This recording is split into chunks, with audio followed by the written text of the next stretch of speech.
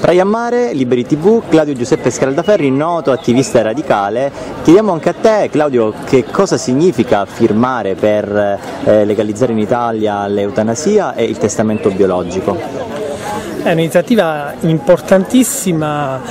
eh, io sono di Praia sono molto contento perché è la prima volta che finalmente riusciamo a fare qui un tavolo a eh, Praia e con tutti gli altri fatti in questi anni in giro per la Calabria a, dimostrazione del fatto come poi eh, la pratica della democrazia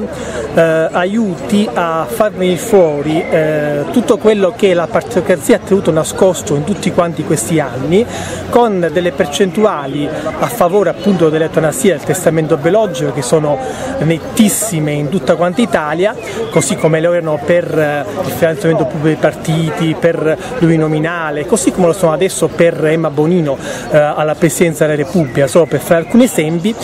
e eh, come poi la partitocrazia ha, ha, distrutto tutto quello che il Partito Radicale a mio avviso in tutti quanti eh, questi anni aveva, era riuscito a costruire come coscienza eh, di una legalità che si costruisce appunto con la pratica diretta della democrazia. Anche chi non è d'accordo oh, ma basta eh, semplicemente il, il, il, ehm, il colloquio oh, poi arriva alla conclusione che eh, non ho il diritto di imporre la mia volontà agli altri. Diciamo sin da subito che comunque battaglie radicali eh, in precedenza come l'aborto, il divorzio, libera scelta dei singoli individui sono state eh, vinte proprio per un, un, certo consenso popolare che come diceva eh, lo stesso Marco Pannella era proprio da parte dei cosiddetti nonni, dalle donne che adesso appunto sono anziani e hanno permesso alle uh, persone eh, che adesso invece sono giovani, anche i quarantenni, poter utilizzare strumenti come il divorzio e l'aborto che altrimenti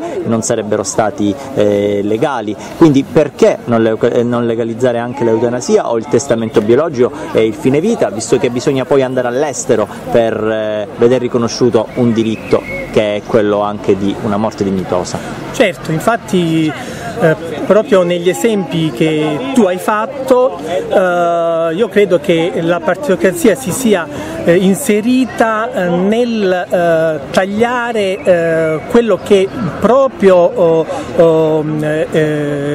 i, ehm,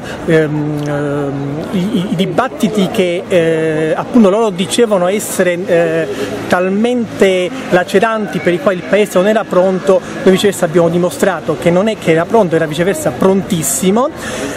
come era prontissimo a, a recepire, a, a capire, a cogliere, avere contezza chiarezza l'importanza della legalità e del rispetto delle regole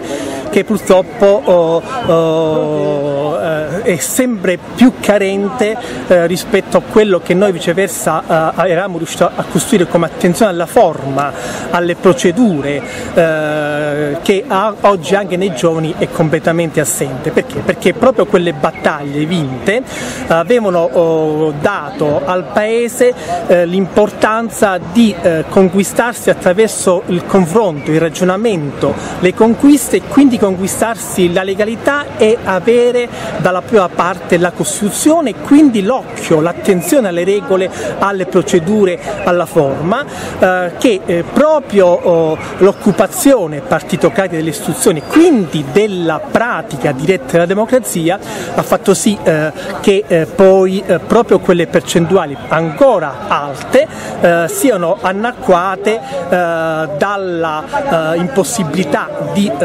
poter contare in quanto oh, la discussione della pratica della democrazia ha fatto sì che poi nella gente non ci sia neanche più tanta attenzione alle regole, alla forma, eh, se non quanto si riesce a stimolarla con lotte durissime, ehm, eh, con scioperi la fame, scioperi la sete, come per esempio noi abbiamo fatto due anni a questa parte per l'emergenza carceri e per la riforma della giustizia, lo dico perché poi tutto quanto collegato e anche quell'aspetto non è altro che eh, sarebbe un'applicazione poi della Costituzione come il testamento biologico e l'eutanasia nella coscienza della stragrande maggioranza della gente vorrebbero, che vorrebbe praticamente nient'altro che una legge o meglio un regolamento attuativo dei sì. principi a fondamento eh, della Costituzione. La vita è mia eh, perché questo dice la Costituzione nata dal nazifascismo ed è mia, è mia uh, uh, così come lo, lo sancisce l'articolo 32 uh, della Costituzione e questa proposta di legge non fa altro che recepire e applicare quello che poi in Italia non è, non è, non è stato mai tradotto, ehm, costruendo appunto quella, quella cappa di, eh, di ehm, eh, eh, di eh, oppressione eh, partitocratica perché eh, ehm, come dire, il, ehm, la zona grigia mh, potesse viceversa scegliere per noi, scegliere per tutti, scegliere per la persona e quindi direttamente per la collettività perché poi da questo si arriva quindi anche a, a, a creare la zona grigia